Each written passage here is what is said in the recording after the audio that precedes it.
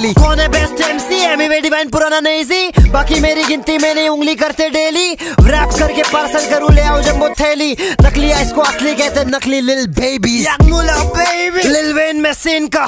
तुम करो तो ठीक अश्लील था। तो आप प्यार दिया ते को माफ़ी मांगने तूने कॉल किया। सापे तू शर्मा जी के शो पे जाके ढस दिया। बख्श दिया लेकिन मैं भूलता नहीं। बॉलीवुड एक्टरों के नीचे बनता है झूलता नहीं। बेटा, वहाँ लटक, इधर मत बटक, वरना बनता देगा शॉर्ट सीधा उठा पटाक।